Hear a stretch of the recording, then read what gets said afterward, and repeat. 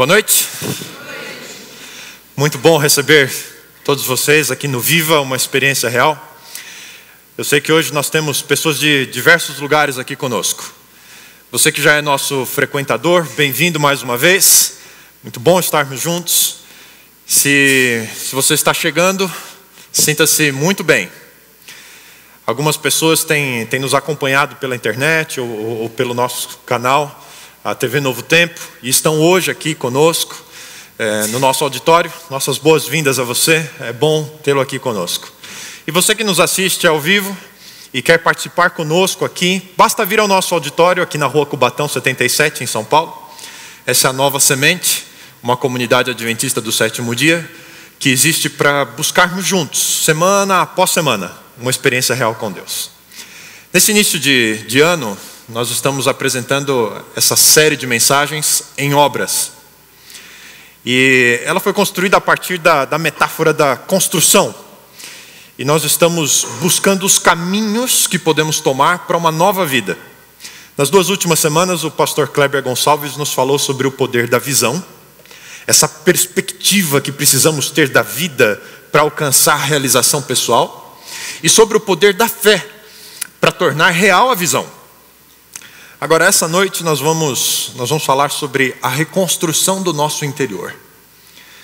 Qual é o segredo para pôr em prática aquelas resoluções que a gente faz, aqueles sonhos que a gente tem? O que a gente pode fazer para experimentar uma verdadeira transformação pessoal? Esse é o drama de, de muita gente. Tem a visão correta, sabem o que querem, acreditam que é possível, mas nada acontece. Como passar da teoria para a prática em busca de uma, de uma nova experiência? Ah, você vai dizer, o infindável conflito entre teoria e prática. Teoria, como vocês podem presumir, é quando se sabe tudo e nada funciona. Já a prática é quando tudo funciona, mas ninguém sabe o porquê. E tem gente que consegue unir as duas coisas. Nada funciona e não sabe porquê. A gente precisa aprender a evitar essa armadilha da, da teoria né? em todas as áreas da nossa vida. Né? Seja no trabalho, né? na família, é, é, socialmente, né? a vida espiritual. Tem um texto da Bíblia, e Jesus deixa essa orientação para nós. Jesus diz assim: Todo aquele que ouve essas minhas palavras e as põe em prática, será comparado a um homem que construiu a sua casa sobre a rocha. Caiu a chuva, vieram as enxurradas, sopraram os ventos, deram contra aquela casa, mas ela não caiu, porque estava alicerçada na rocha. Nós temos visto essas semanas que estamos sempre em obras. Cada dia, através das nossas decisões, nós estamos construindo a nossa vida e nós temos a oportunidade e precisamos edificar bem essa construção. A gente precisa passar das intenções para as ações que de verdade vão colaborar positivamente para o nosso futuro. E é esse o segredo que Jesus aponta para nós nesse texto e que a gente está buscando nessa série deste início de ano. Ouvir as palavras e as colocar em, em prática. Visão fé e prática. Agora, quando a gente fala em mudança, existe um outro desafio. O desafio de se esta mudança vai ser permanente ou passageira. Tem muita gente que muda muitas coisas e muda o tempo inteiro e está sempre mudando e as mudanças começam e terminam. Né? Eu tinha um professor da faculdade que dizia que ele conhecia muita gente com iniciativa, mas pouca gente com acabativa. Eu lembro de uma resolução que eu tomei. É, eu tenho um tio e ele há muitos anos é vegetariano. E eu admirava muito esse tio e decidi que eu também ia ser vegetariano, ia parar de comer carne. É, e tinha um outro amigo que também, desde os 15 anos, era vegetariano e não comia nada de carne. E eu falei, eu vou cuidar da minha saúde. Né? E com 15 anos de idade, eu decidi parar de comer carne, me tornei vegetariano. Passaram os 15 anos, os 16, os 17, 18, 19, 20, 21, 22 anos, sete anos vegetariano. E eu conheci a Paula.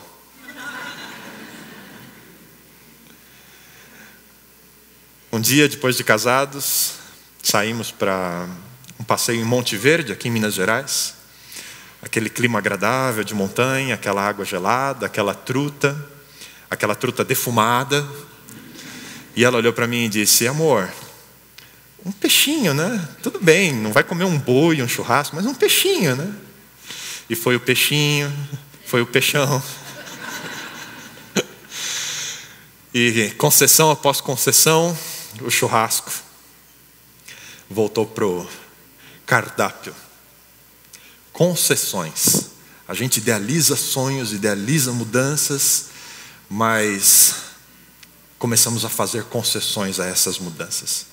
Com certeza você já passou por isso, em alguma área, em algum aspecto da sua vida.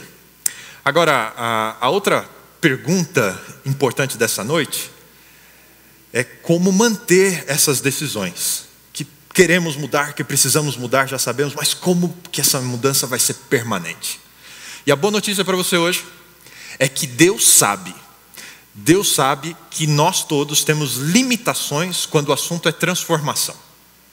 E por isso, Deus nos deixou preciosos e valiosos princípios que estão aqui na Sua palavra, que vão nos ajudar a experimentar uma revolução pessoal como viver mudanças duradouras. Se nós acrescentarmos a visão, a fé, estes princípios que vamos ver hoje, nós poderemos reconstruir um novo eu a partir de agora. É isso mesmo que você ouviu. A palavra-chave de hoje à noite para a mudança é agora. Não é amanhã, não é depois de amanhã, igual aquele regime, é agora. E nós vamos analisar hoje cinco desses princípios divinos para uma mudança de vida completa e permanente. Como mudar a minha vida? Primeiro ponto: entrega.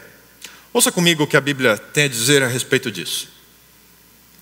E assim, queridos irmãos, eu apelo que vocês deem seus corpos a Deus, que eles sejam um sacrifício vivo, santo o tipo de sacrifício que Ele pode aceitar. Quando vocês pensam naquilo que Ele fez por vocês, isto será pedir muita coisa? Sabe, nos primeiros 11 capítulos desse, dessa carta de Paulo aos Romanos, é, Paulo lista inúmeras ações, bênçãos de Deus em favor das pessoas, e aí ele conclui esse momento do livro com este verso: E assim ou, em outras palavras, portanto, diz Paulo, diante de tudo isso que Deus deu a vocês, que vocês entreguem seus corpos a Deus como oferta aceitável. Interessante o, o pedido de Deus, né? Entreguem, palavras de Paulo, ou ofereçam, né? Seus corpos como sacrifício vivo. Para você parar de me olhar esquisito desse jeito, antes que você pense aí num terrível ritual, né? Vamos entender um pouco como eram os conceitos aceitos naquele momento. É, você sabe, o, o, o Império Romano ele dominou o mundo com a força dos seus exércitos, mas manteve o império, manteve o mundo unificado com o uso da filosofia grega. É por isso que a gente costuma falar da, da cultura greco-romana. Né? Foi esse, esse misto. Né? E com a força desse sistema filosófico, né, é, criou-se uma cultura comum às diversas nações que compunham o, o Império Romano. E um ensino filosófico, desde a era de Platão, chamado dualismo, e que influenciou todo o pensamento ocidental moderno, você pensa desse jeito, afirmava a existência simultânea de duas realidades distintas: a realidade física e a realidade metafísica. Assim, o homem era composto de uma realidade física, o corpo, e de uma realidade metafísica, a alma. E essa realidade metafísica, ela era superior à realidade física. Portanto, mais importante. A realidade física, na verdade, era um entrave à verdade espiritual. E em desenvolvimentos posteriores, no decorrer dos anos, chegou-se inclusive a afirmar que tudo o que se fizesse com o corpo não tinha importância alguma, conquanto que se cultivasse as virtudes da alma. Dualismo. E por incrível que pareça, a gente recebe ainda essa herança cultural de olhar o ser humano como um ser é, parcial, formado por várias partes. No entanto, um dos ramos da ciência médica que desperta muitas pesquisas atualmente é a psicossomática. Já são conhecidas, por exemplo, as ligações entre o nervosismo e a úlcera gástrica, o medo e a bronquite asmática, o estresse e a herpes simples, e até mesmo a depressão linkada a alguns tipos de câncer. E é interessante que, apesar dessas descobertas, a gente tem o relato bíblico, um relato muito antigo, falando a respeito dessa ligação é, unificada do corpo. A Bíblia diz no livro de Provérbios: o coração alegre é bom remédio para o corpo, mas a tristeza na alma acaba com a saúde do homem. Não são duas realidades distintas, separadas, que não se comunicam e que são antagônicas, mas a composição de um todo, de um ser único. Há um artigo interessante que eu queria repartir com vocês, alguns trechos que eu encontrei. Saiu na revista Você S.A. falando sobre essa conexão mente-corpo. É interessante na pesquisa, o artigo vai mencionando entre as dezenas de neurotransmissores que o cérebro produz, um dos mais pesquisados é a beta-endorfina. É bastante conhecida por aqueles que gostam de esporte. A beta-endorfina é um analgésico natural produzido quando o corpo está em intensa atividade física. E a finalidade é proteger o corpo da dor provocada pelas possíveis lesões do esporte ou de uma batalha. Você já ouviu falar de alguém que se machuca jogando futebol, mas só vai sentir a dor depois que o corpo esfria? É por causa da endorfina. Mas a endorfina tem mais efeitos sobre nosso corpo e sobre a nossa condição emocional. É um poderoso antidepressivo, um estimulante. Que tipo de estímulo? E aqui vem a melhor parte. Sob o efeito de doses altas de endorfina produzidas pelo corpo, a pessoa experimenta elevação de uma combinação de quatro estados mentais ótimos: bem-estar, autoconfiança, otimismo e serenidade. Você não acha isso fantástico? Será que não é assim que você gostaria de se sentir todos os dias? Especialmente em momentos difíceis, quando você não está sendo mais exigido, como no momento de enfrentar uma entrevista de emprego, uma reunião de fechamento de negócio, por exemplo. Os momentos em que há elevação significativa dessa substância, diz o artigo, estão ligados com a atividade física. Exemplos: praticar esporte, dançar, solteiros, fechem os ouvidos, fazer sexo. No entanto, diz o artigo, você pode ter ou não níveis bons de neurotransmissores estimulantes através da simples postura corporal adequada.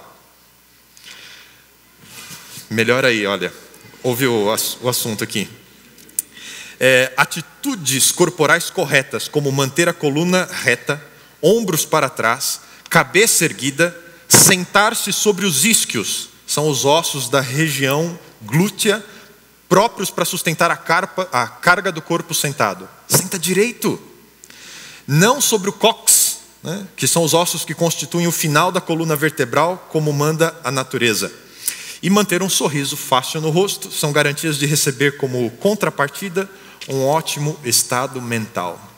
Uau, tanta coisa fácil para você melhorar o seu estado geral, né? Essa ligação entre a mente e o corpo, entre o corpo e a mente, pode ser uma ligação descendente, uma ligação ascendente. O fato é que existe essa ligação. E é por isso que a entrega pessoal da vida a Deus, que Paulo menciona, inclui a entrega do corpo. O nosso corpo afeta o nosso comportamento, as nossas decisões, o nosso modo de pensar. E uma entrega total, pensando nisso, é fundamental. Ouça o que a Bíblia diz. Acaso não sabem que o corpo de vocês é santuário do Espírito Santo que habita em vocês, que lhes foi dado por Deus e que vocês não são de si mesmos? Vocês foram comprados por alto preço, portanto, glorifiquem a Deus com o seu próprio corpo. O contexto desse verso aqui é imoralidade sexual. E ressalta o plano original de Deus para a sexualidade humana, desde o paraíso. Lá Deus disse: uma só carne.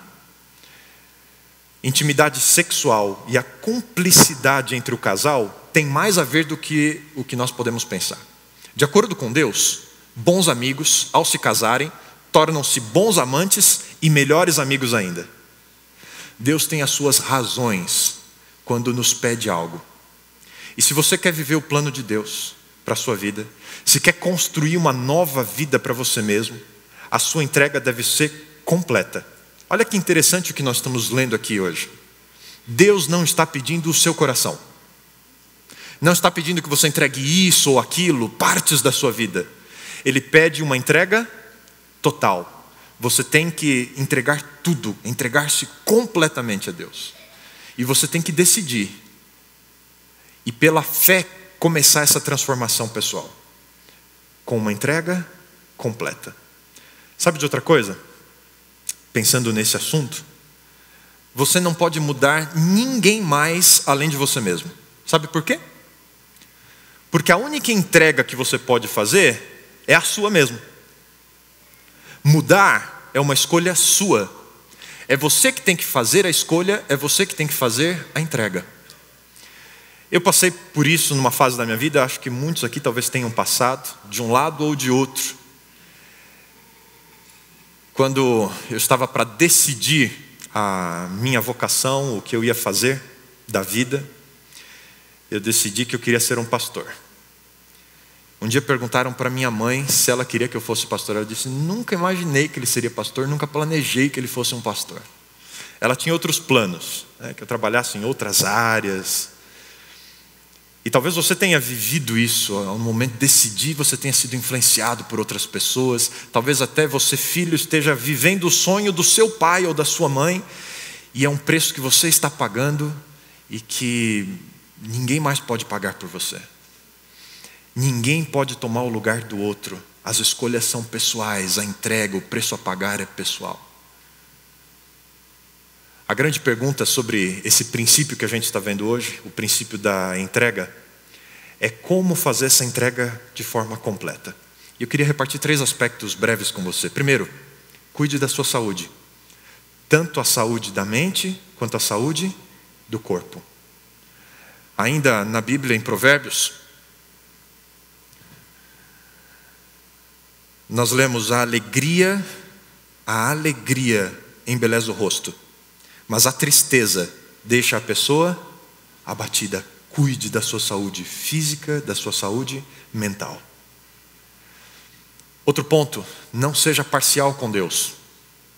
Comprometa-se com todos os aspectos da sua vida. Não dá para escolher áreas da vida e dizer: olha, Senhor, cuida da minha vida pessoal, da minha vida profissional, eu cuido. Cuida da minha vida familiar, da minha vida financeira, eu cuido. Cuida da minha vida emocional, da minha vida social, cuido eu. A gente não pode ter essa entrega parcial. Cuide da sua saúde completa, faça uma entrega completa, não seja parcial com Deus. E um terceiro aspecto para fazer essa entrega completa, envolva-se. É por isso que Deus pede o corpo. Se o corpo vai, vai tudo junto. Envolva-se. Fé não se limita à crença.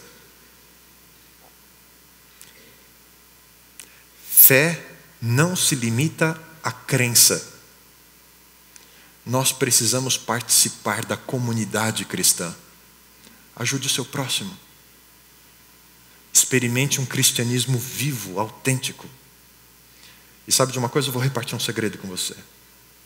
Você vai perceber o bem que isso faz a você mesmo.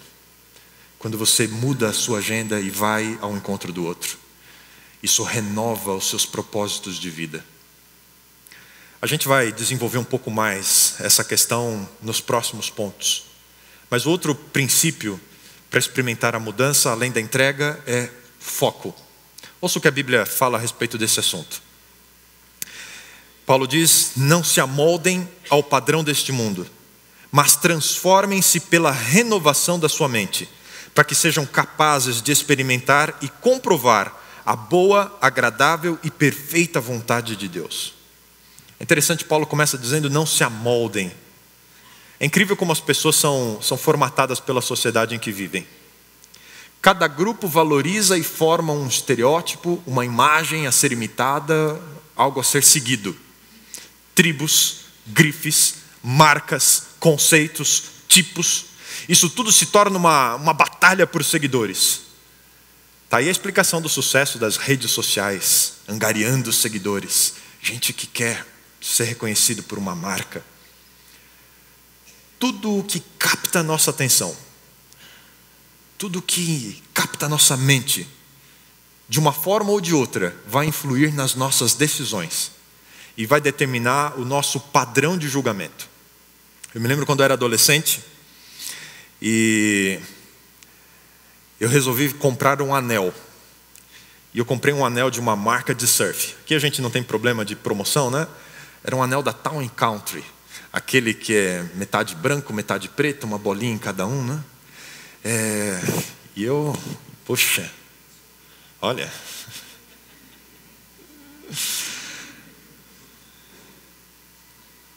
Era legal. Os meus amigos tinham. E eu achei interessante que um dia meu tio chegou para mim assim e perguntou: O que, que, é isso aí? Eu falei: Você não sabe? Anel da Town Country. Ele disse: Mas, mas por que você está usando? Eu, Porque todo mundo usa. E a partir daquela simples pergunta eu comecei a pensar, né? Por quê? Depois eu até fui entender o conceito né, do yin e yang, que eu não sabia à época, né, garoto ainda, né, que todo bem tem um pouco de mal. A Bíblia nunca falou isso. E todo mal tem um pouco de bem. Esse é o conceito do yin e yang e ali naquela marca, né, e eu sustentando valores. Sabe, aquele padrão queria determinar o meu gosto musical, as roupas que eu deveria vestir, o vocabulário que eu ia usar, se é que eu ia ter algum, né? E quem sabe outros aspectos mais da minha vida. E a grande pergunta é: qual padrão você está seguindo? Qual padrão está se impondo para você? A Bíblia apresenta apenas dois padrões: o de Deus, e Paulo fala aqui nesse texto, o padrão do mundo. O padrão que se preocupa com o que é realmente importante. E o padrão que se preocupa com a perfumaria, aquilo que é supérfluo. Quando a gente fala de transformação pela renovação da mente, implica em mudanças profundas da nossa visão de mundo e dos padrões que vão nos guiar pelo resto da vida. Sabe quando a gente observa na natureza a metamorfose, por exemplo? A lagarta vira uma borboleta e não uma versão melhor de lagarta. Eu me lembro quando eu comprei o meu novo carro depois que eu me casei. Vendi o carro que eu tinha, me casei e depois fui comprar um novo carro. Veja bem, não era um carro novo, era um novo carro. Motorzão. Né? Mas velho. Tadinho do meu Passat, eu tenho saudade dele. Vivia na oficina mecânica, todo mês tinha uma coisa para consertar. E eu gosto de consertar as coisas, não gosto que fica quebrando, né? Eu faço a, a, a revisão preventiva, né?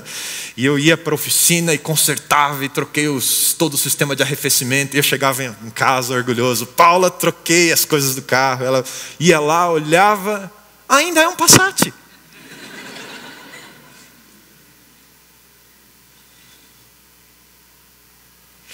Por mais que eu investisse dinheiro nele, ele ainda era um carro velho. Foco na mudança foco. Tudo o que tende à estagnação é um empecilho à mudança. O que as pessoas te dizem, não precisa disso, você está bem assim. Os lugares que você frequenta, olha, se você mudar, você não vai mais ser aceito aqui. Tudo o que toma o seu tempo, tudo o que te distrai, precisa ser guiado pelo foco na mudança. Se é preciso deixar coisas, se é preciso deixar pessoas, se é preciso deixar lugares de lado, foco. É por isso que a visão correta e a certeza de que é possível mudar são fundamentais. porque sempre vai haver um preço a pagar quando você estabelece um foco de mudança. Falamos de entrega completa, falamos de foco como elementos essenciais para a mudança, para essa renovação interior. Mas há mais um princípio que precisamos juntar aqui. Chama-se ponderação. Ouça o que Paulo continua dizendo nesse texto de Romanos. Ele diz: Por isso, pela graça que me foi dada, digo a todos vocês: ninguém tenha de si mesmo um conceito mais elevado do que deve ter, mas ao contrário, tenha um conceito equilibrado, de acordo com a medida da fé que Deus lhe concedeu. O assunto aqui é arrogância. Sabe, quando você coloca um, um objetivo definido para a sua vida e se dispõe a pagar o preço, né, você tem foco. Uma das tentações desse, desse movimento é pensar que o nosso plano de vida é melhor que o do outro. E a consequência de pensar que o nosso plano é melhor do que o outro é pensar que nós somos melhores do que o outro. E de pensar para demonstrar é um pequeno passo. Mesmo decisões e propósitos espirituais, que é o que estamos tratando aqui para a nossa vida, estão sujeitos a essa tentação da arrogância. Ou você não conhece nenhum cristão que, que se acha melhor que os outros? Pensa aí um pouquinho só as diversas disputas religiosas entre cristãos e não cristãos ao longo da história. Só a expressão não cristãos por si só já é preconceituosa, não é? Mas e falando só de cristianismo, as diversas disputas internas entre as denominações cristãs. Ah, eu tenho a verdade, não sou eu. Você não acha isso um testemunho negativo da fé? Que mudança positiva está acontecendo? Conta-se uma, uma parábola, uma pequena história, de um homem que teve a oportunidade de visitar o céu no futuro e ver os seres humanos salvos com Deus. E ele começou a passear e ver as coisas maravilhosas que estavam só escritas no livro do Apocalipse, e ele vendo tudo lá ao vivo. E de repente ele avistou andando um pouco mais junto com o anjo que estava guiando, ele avistou um muro. E ele ficou curioso, mas um muro no céu? Para que um muro? E ele chegou mais perto, assim, conforme se aproximou do muro, ele olhou do outro lado e viu que tinha um grupo de pessoas, cheio de gente lá do outro lado do muro. Ele ficou curioso, mas que é isso? Que grupo separado é esse dentro do céu? E aí ele não se conteve mais e perguntou para o anjo: Mas eh, quem são aquelas pessoas do outro lado do muro? E o anjo disse: aquele pessoal lá acha que veio para cá sozinho. Ninguém vai para o céu sozinho. Ninguém é melhor do que ninguém. A gente não pode permitir que nessa busca por transformação as coisas nos afastem do amor ao próximo. Tudo o que nos afasta do amor ao próximo compromete a estrutura do edifício espiritual que estamos construindo.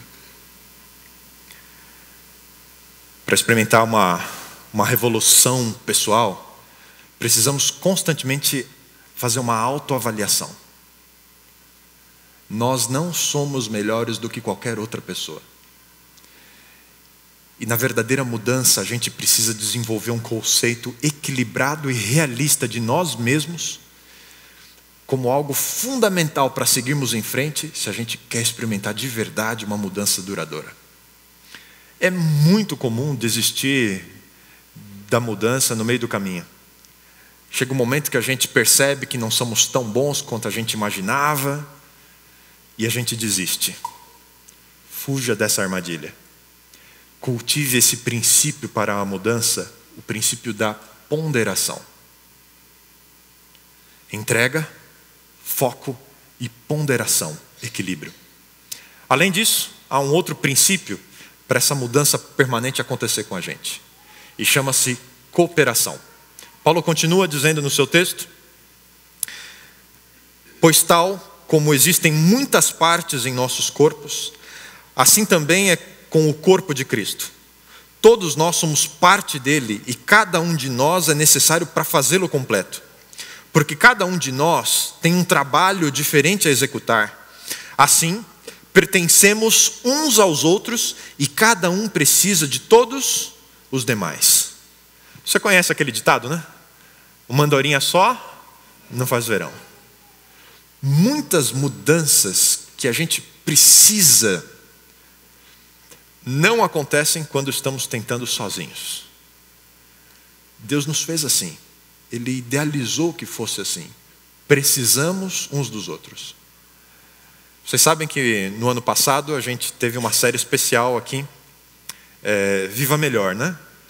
O pastor Kleber se propôs a perder alguns quilos e gentilmente me intimou a perder outros quilos. E ele lá sozinho, fazendo o regime dele, os exercícios dele, e eu cá sozinho, fazendo os meus regimes, os meus não exercícios. Perdi cinco quilos. Estão todos aqui de volta. Vergonhoso isso. Mas eu sei que eu preciso mudar. E foi por isso que comecei a academia. Mas dá uma preguiça e fazer exercício. É por isso que a Paula me acorda todo dia, amor, vamos junto. E ela vai comigo. Gente, que maravilha que é fazer exercício junto com outra pessoa, né? E quando eu estou lá, 15 minutos de esteira com a língua de fora, eu falo, não para não, senão eu paro também. E ela continua, e eu continuo também. E a gente faz meia hora de esteira, né? Quando não está atrasado, aí faz 20 minutos. A gente precisa uns dos outros no momento de diversas atividades da vida para um motivar o outro. Nós precisamos. Essa força que vem né, é fantástica. Nós precisamos explorar mais isso. Talvez você esteja aí pensando, é, eu acho que eu consigo fazer essas coisas sozinhos, né? Talvez até você consiga. Mas o efeito quando nós estamos juntos com outra pessoa é muito maior do que quando você está sozinho. Ouça o que a Bíblia diz sobre isso. É melhor ter companhia do que ser sozinho, porque maior é a recompensa do trabalho de duas pessoas. Se um cair, o amigo pode ajudá-lo a levantar-se, mas pobre do homem que cai e não tem quem o ajude a levantar-se. Se dois dormirem juntos, vão manter-se aquecidos. Como manter-se aquecido sozinho? Um homem sozinho pode ser vencido, mas dois conseguem defender-se. Um cordão de três dobras não se rompe com facilidade. É tão bom esquentar o pezinho de noite, né? Sabe, na nossa jornada de, de crescimento espiritual, as coisas não são diferentes. Se quisermos uma mudança permanente, nós precisamos uns dos outros. Quanto vale saber que, que alguém está orando por você? Como é possível medir a influência de um conselho ou de um, um simples toque no ombro, indicando que está ali do seu lado, que você pode contar com ele? Sabe, algumas coisas na vida são absolutamente impossíveis de serem feitas sozinhas. E a caminhada espiritual é uma delas. Ah, mas não é bom estar sozinho com Deus? Sem dúvida. Recolhimento, introspecção são importantes, como a gente viu no ponto anterior, né? essa autoanálise. Mas compartilhar a fé as vitórias, os fracassos, é imprescindível para o crescimento. Se você quer experimentar esse princípio em sua vida, eu estou aqui para dizer: conte conosco. Todos os sábados, às 5 horas da tarde, nós temos o encontro do grupo Diálogos Interativos. Acontece naquela primeira sala ali à entrada. É um espaço para você ouvir e ser ouvido. Todos os sábados, às 5 horas, diálogos interativos. Sabe, você pode também participar do, do Vida em Grupo e ter essa experiência de, de conviver com novos amigos num ambiente mais acolhedor durante os dias da semana. Temos diversos grupos espalhados pela cidade, as pessoas se encontram, oram juntas. Se você quer saber mais sobre o plano de Deus para a sua vida, você pode contar com a gente também. O programa Começos, um grupo de pessoas que compartilham o estudo da Bíblia a cada semana e buscam uma experiência real com a palavra de Deus três horários diferentes na semana. Todas essas informações estão no nosso website, www.novasemente.org. Ali você vai encontrar muitas outras oportunidades de participar conosco, porque a vida cristã, a caminhada, a jornada cristã não se faz sozinha. Nós precisamos uns dos outros, precisamos compartilhar. Um outro princípio divino para a mudança, para que essa mudança seja permanente, chama-se amor. Paulo vai concluindo o seu texto aqui em Romanos e ele diz: Não finjam apenas amar aos outros, amem realmente. Odeiem tudo aquilo que está errado, coloquem-se ao lado do bem, amem-se uns aos outros com afeição fraternal e tenham prazer em honrar uns aos outros. A pergunta que eu faço é: por que, que o amor é importante nesse processo da mudança? A resposta é porque o amor pode transformar qualquer coisa, qualquer pessoa. A Bíblia diz que o amor é tão poderoso como a morte. Tão poderoso como a morte. Você já viu como a morte muda a vida das pessoas? Aqueles que ficam. A pergunta é: se o amor é mais poderoso que a morte, quanto o amor pode influenciar alguém, como o amor pode mudar as coisas. Jesus mesmo disse a respeito disso, e ele escreveu: Ninguém tem maior amor do que aquele que dá sua vida pelos seus amigos. E essa expressão de amor a que Jesus se refere, a sua morte na cruz, transformou o mundo. Sem amor não há transformação. E o amor de Cristo provoca reflexão e novos motivos. O mundo é outro porque Cristo expressou amor. Vivenciar esse amor fraternal de que a Bíblia fala é indispensável para a mudança. Do princípio do amor decorre a cooperação dentro da comunidade cristã e vice-versa. Todos os princípios que mencionamos hoje estão relacionados uns aos outros. Sem um relacionamento profundo de amor e consideração uns pelos outros, a mudança está comprometida. Amor ao próximo é amor ao correto, é repulsa à injustiça, à maldade, ao engano. É disso que Paulo está falando aqui. O verdadeiro amor, ele não procura tirar vantagens uns dos outros. Quando você se abre ao amor, você se abre para a mudança. Ame a Deus, ame as pessoas de verdade, e a mudança vai acontecer na sua vida. Cinco princípios: a entrega, o foco, a ponderação, o amor. Nós precisamos viver essa realidade. Eu posso dizer com certeza,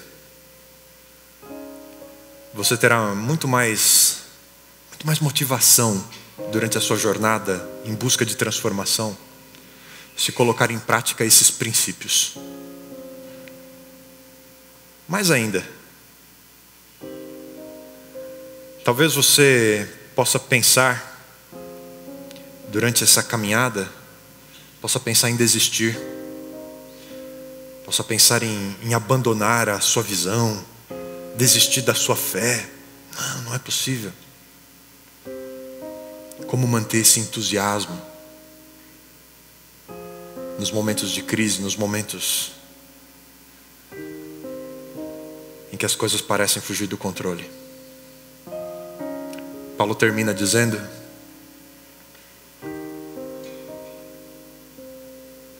Nunca lhes falte o zelo, sejam fervorosos, sejam fervorosos no espírito, alegrem-se na esperança Sejam pacientes na tribulação e perseverem na oração. Para a mudança acontecer, é preciso lidar com paixão as questões que aparecem no nosso dia a dia.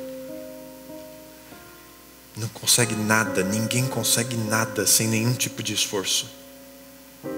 Se você quer cultivar uma atitude positiva diante dos obstáculos à sua mudança, à sua transformação, você vai ter de enfrentar algo que é crucial para continuar na direção de Deus. Enfrentar os obstáculos de frente. Eu não estou falando aqui essa noite de, de autoajuda. Eu estou falando de outra coisa, chama-se dependência de Deus. O segredo da determinação, da perseverança, do zelo que Paulo está falando aqui é a paciência e a oração. O grande reformador Martinho Lutero costumava dizer: Eu tenho tanta coisa para fazer hoje que eu vou precisar orar mais do que eu orei ontem. É nesse momento de intimidade, de conversar honestamente com Deus sobre a sua mudança e sobre os desafios dela, que você vai encontrar saída para os problemas do dia a dia que se levantam vez após vez para dificultar as coisas para nós. Mas não fique preocupado. Os obstáculos aparecem e nós encontramos novos caminhos. É como é como o GPS. Ele traça a rota, te indica o caminho e às vezes você precisa desviar, precisa pegar outra rua, precisa fazer outro caminho. E talvez até você erre a saída e passe reto. Gentilmente, a Gabriela lá do GPS vai dizer, recalculando, e vai te mostrar um outro caminho, uma outra forma de resolver e de você chegar no seu objetivo. O caminho pode alterar um pouquinho diante dos desafios, mas o objetivo continua sendo o mesmo. A gente precisa pensar diante da mudança que nenhum de nós aqui é perfeito. Eu, você, todos nós necessitamos do poder e da direção de Deus na nossa vida. Uma verdadeira transformação não acontece da noite para o dia. É uma escolha, é uma decisão que cada um de nós tem que tomar e tem que tomar a cada dia.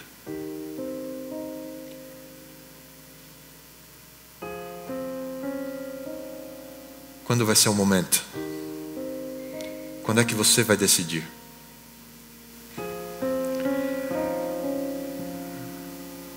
Eu guardo sempre comigo o momento de conversão, o momento de decisão, o momento de entrega da minha avó. Foi a primeira cristã da minha família. Nova ainda, nos primeiros anos de casamento, ao final da gravidez do primeiro filho, complicações no parto, bebê morre e ela não sabe de onde tirar forças. Jovem, desorientada,